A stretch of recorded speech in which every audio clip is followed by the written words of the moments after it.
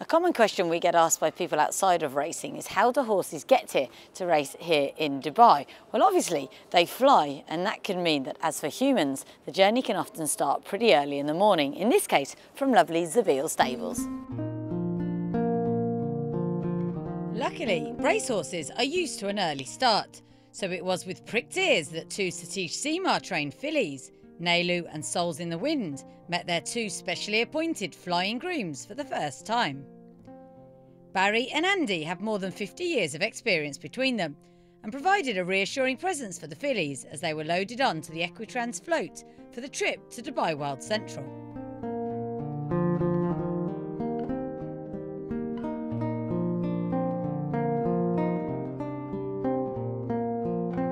On arrival, we met up with the other Equitrans lorry carrying seven UK bound polo ponies, just some of around 2,000 horses that the company will transport in a year.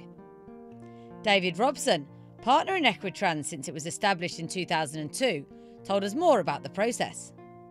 Essentially, if anybody comes to us says we want to move one or 10 horses or 15 horses from A to B, what we would do is we'd take on the horses from the stables, we either do quarantine wherever the horses are at, if we're allowed to do that there, or establish quarantine at a government quarantine, do all the blood testing, all the vaccinations, get all the documentation in order. And once all the health and veterinary is in order, then the logistics is done. So we'd move a horse essentially from stable to stable. So you get a stall, which is a jet stall, which is, which is more like a section of a lorry, a horse box. And in that you'd have three horses to uh, a stall that's traveling one third. We call that economy.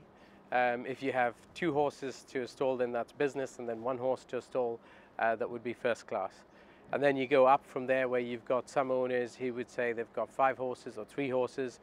Uh, they want to be at a particular race on a particular day, and then that's chartering an aircraft to do that. So you fly in and out to a particular point that's closest to the racetrack or the place where they're competing.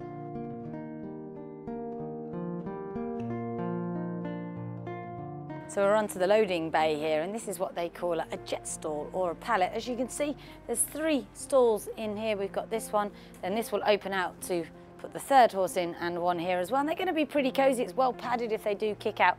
And of course that they've got the nice bed of shavings and they'll get a hay net and some water at the front. Our two fillies will shortly be joined by their new polo pony friend and they're going to be pretty snug in here for seven hours.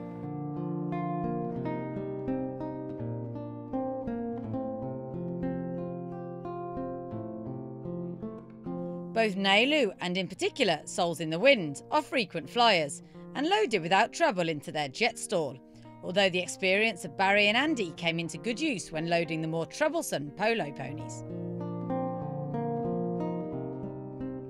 We've seen them, them loaded up and they're going to get on the plane shortly. And then during the flight, where would, would you be most of the flight? Walking up and down, just checking on them, make sure they have the hay and water and stuff like that. For takeoff, we can't stay with them anymore. It's just with the regulations and stuff like that with the with the aircrafts.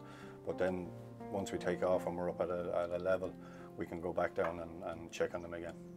And most of them are absolutely fine with being 30,000 feet up? They are. They're, most of them, they're, they're, they're, most of them are frequent, you know, they're frequent travellers. Mm. So, you know, they're, they're well used to it. You'd have the odd one, 99% of them would be all right travelling, but then you, might have one or two then that just they could get claustrophobic or scrambling or something like that in it. But most of them will travel, you know, they're all travelling great.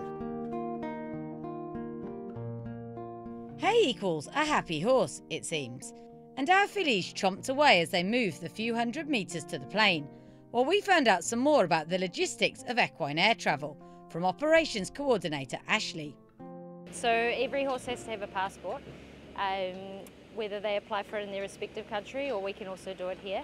Um, there's certain requirements for the passport, so obviously for horses that are importing, um, there has to be vaccination history inside the passport, and for horses exporting, depending on where they're going with what they have to have inside. Um, each horse generally has a microchip number which should be recorded on the passport and also a pedigree like mother, father, who they're the family tree is. Um, and then obviously just normal details, age, colour, Sex, yeah. And so when you arrive here, someone would check the horse against the passport. Absolutely, yeah. And always check the microchip number matches the passport.